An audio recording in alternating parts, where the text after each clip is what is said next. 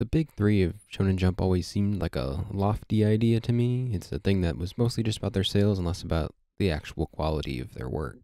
They were just the biggest guys of that specific era of manga. There couldn't possibly be three of the best shonen out there at the same time.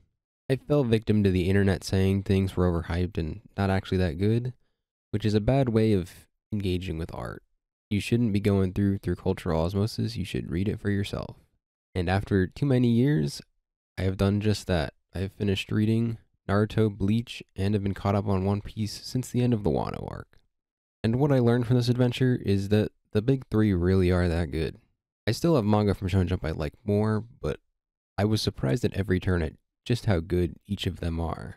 And while they are good in some similar ways, I want to talk about what I love the most about each of them. So let's begin with the one I actually finished first. Let's talk about Naruto. Naruto is a series that balances so many incredible antagonists, it's honestly kind of impressive. I can't think of a single one I actively disliked, and I can think of so many that became some of my all time favorites.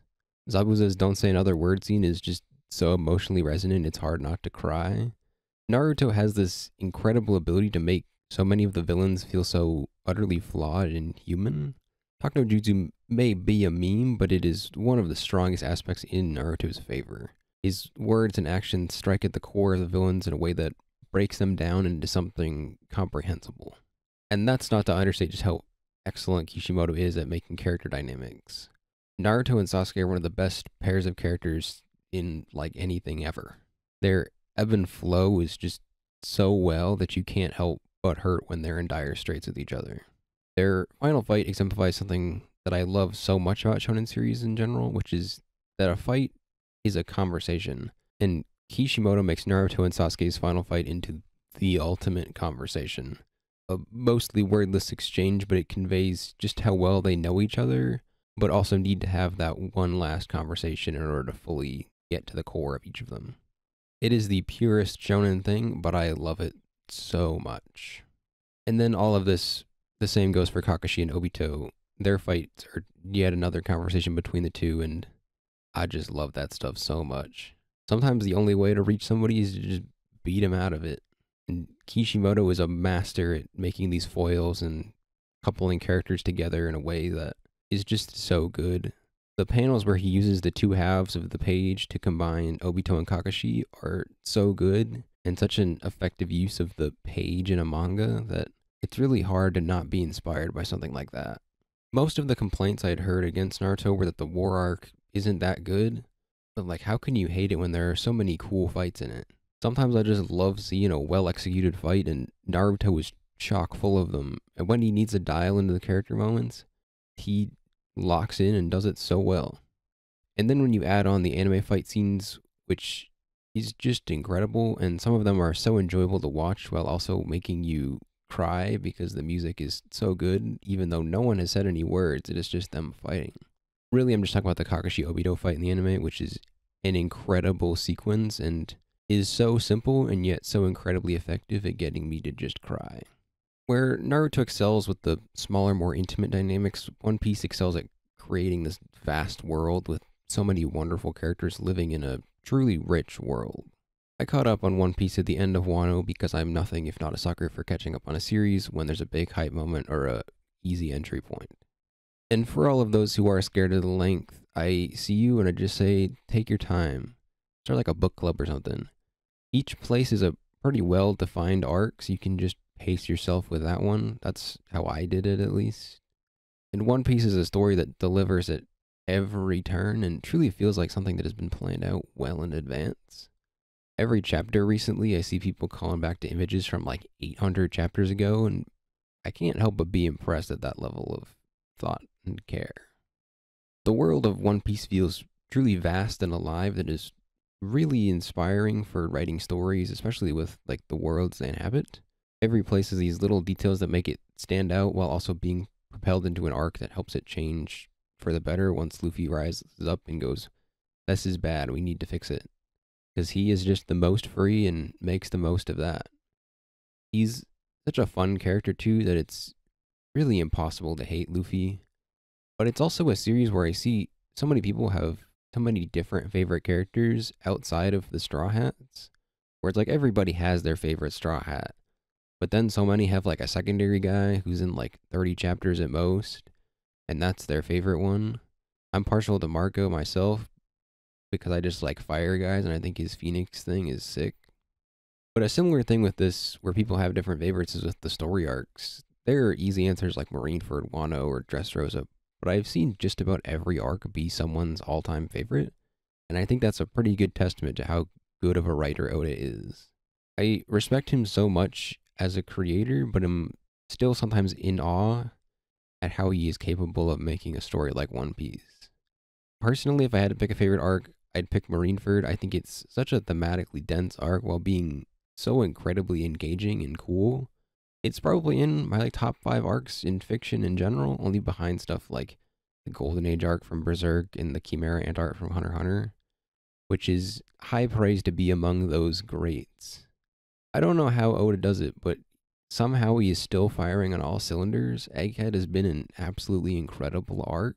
Has continued to make a story arc that I'm impressed for how massive it feels, while also being so engaging at character levels or in the smaller scale. And now we turn our attention to Bleach, my most recent completion.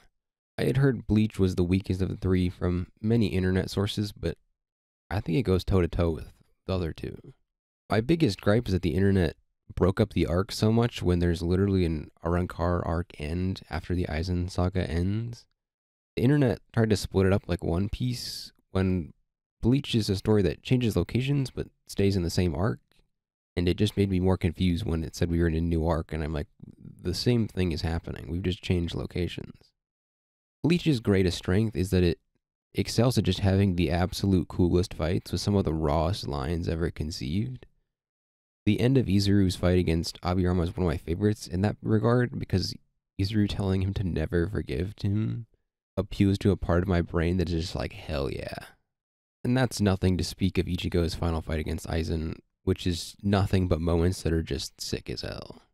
Bleach is a series that rides on moments of Ichigo being so back and then just decimating his opponents after he's gained this new power up as a whole, I'd put the Aizen saga as another one of my favorite fictional story arcs because the build up and execution is just engrossing. I could not get enough of it, and it just kept me plowing through chapters, endlessly hungry for more.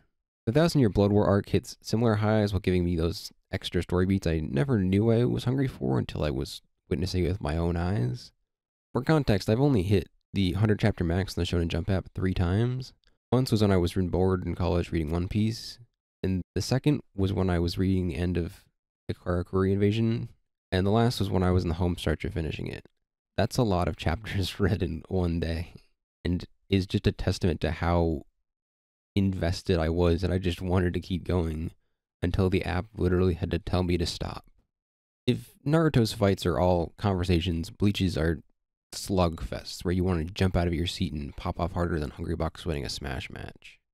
In my Frieren Power System video, I got a good number of comments from people saying that the magic are, in the nicest interpretation possible, plot devices to make the hero win. And while Bleach is one of the few fights that could fit that boringly worded bill, I don't care. My blood is flowing through my veins and I am having the time of my life. What are shonen anime if not the heroes getting a power up to defeat the boss that seems stronger than them? I will eat that up any day of the week. It is not an issue. On the other end of Bleach, though, one of my biggest prizes for Kubo is how he uses the chapter titles. They're always such a joy to look at in their own way. They go this extra mile that I will never grow tired of while making them look so cool, but also like relevant to the arc. I haven't yet watched the Thousand Year Blood War anime, but I can imagine the sheer joy that it fills people with seeing the Vice Not arc animated. And now I really need to get to watching the shows. Granted, after reading all of the big three, I want to watch their animes more and more, even though they are so much longer time wise. The biggest strength that the big three share is that they have some absolutely incredible antagonists. Aizen, Yhwach, Obito, Pain, Doflamingo, Kaido are all just incredible. They're such fascinating characters to examine and prop up against the protagonist.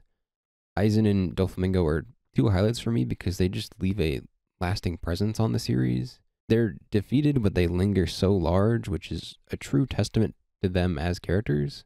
where a great villain can really make a story arc, but the big three have so many of them. You could easily fill a top 10 with just the antagonists of them. And another strength of all three is the art. Every series has just these masterful spreads of evocative images that can make you cry, incredibly hype, or just impressed by the visual imagery you're looking at on your screen. As I've been reading more and more manga, it's so easy to tell how influential these series were on the current generation. And in all honesty, it's hard not to when reading the series and seeing so many breathtaking panels. Manga artists continue to surprise me with how incredible the human mind can be when creating art. That's what's made reading more manga so inspiring and thrilling for me. Browsing the internet is an easy way to get sucked into an echo of hearing a series is bad and just believing it without ever actually reading the story. I never got into any of the big three purely by wanting to read them besides Naruto, but I always had that nagging itch to fill in the gaps of my Shonen Jump backlog. I started One Piece to join in the weekly conversation, which I have yet to regret. I read Bleach because I wanted to watch Alexander's streams of the read through, where I meant to just catch up and then accidentally read the entire series. I had these exterior motivators, but I just wanted to read the stories ultimately, and I'm really glad those ones finally pushed me over the edge to really commit to it. They're so incredibly good, and every shonen fan, or really just any person in general, should read them at some point in their lives. They're full of things to take into your own stories while also just being incredibly fun things to read.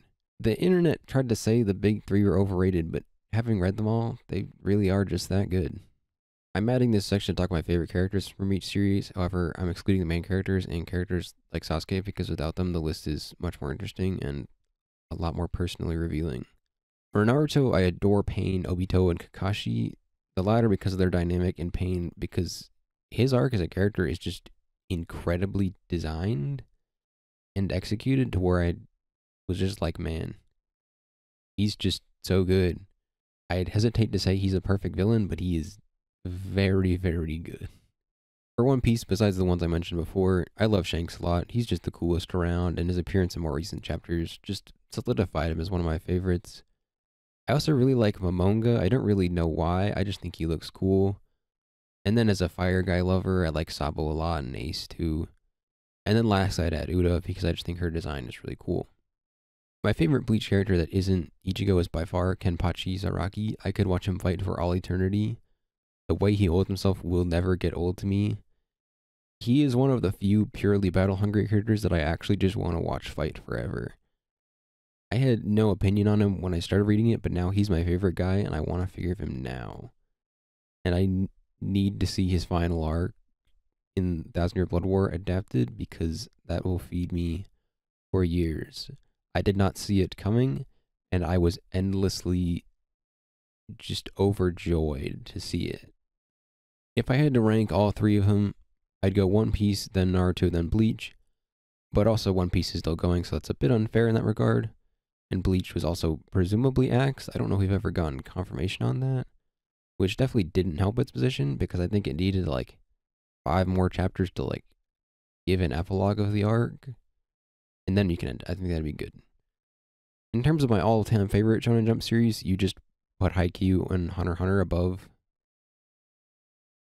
every one of those and then Bakuman like just below One Piece and then it's fine. So that's it. Read the big three. They're great. Like, subscribe, do all that, or Zaraki will kill you.